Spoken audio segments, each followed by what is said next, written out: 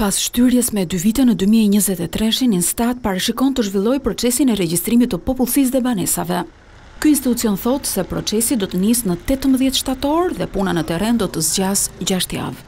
Drejtorja e Instat-it, Elsa Dhuli jep disa të dhëna lidhur me metodën që do të përdoret si dhe si do të veprohet me pyetjet mbi etninë dhe fenë që u bënë objekt debatesh në censusin e fundit. Ne kemi parashikuar që të rekrutojmë afro tetë mijë persona, të cilët janë intervistues terreni, janë kontrollorë, janë mbikëqyrës, por janë edhe staf i Instatit apo i zyrave rajonale të cilët do të jenë të angazhuar në procesin e numërimit të popullsisë dhe të banesave. Edhe në pyetësorin e Censit të vitit dy mijë e njëzet e tre, Janë këto tre pyetje, pyetje të cilat lidhen sikurse e përmendët edhe ju me etninë, fenë dhe gjuhën.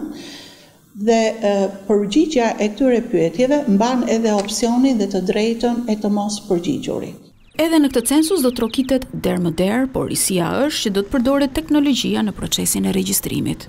Të dhënat do të grumbullohen me metoda tradicionale, duke trokitur derë më derë, Por në vend të pyetësorit letër do të përdoren tableta, do të përdoret teknologjia. Të dhënat pasi të përpunohen në formë të anonimizuar, do të publikohen në hardcopy apo në format elektronik pas një periudhe gjashtë-shtatëmujore të pas periudhës së grumbullimit të informacionit, që do të thotë afërsisht nga muaji qershor i vitit të ardhshëm. Por ligji parashikon edhe penalitete në rast se qytetari refuzon të japë informacion, gjoba varion nga pesëdhjetë deri në njëqind mijë lekë. Në rast se qytetarët, individët nuk do të pranojnë që të numërohen, atëherë në ligjin për Censin e Popullsisë dhe të Banesave janë parashikuar penalitete për të cilët ne synojmë që të mos arrijmë që t'i përdorim dhe të kemi ndërgjegjësimin e të gjithë individëve për të qenë pjesë e këtij procesi kaq të rëndësishëm.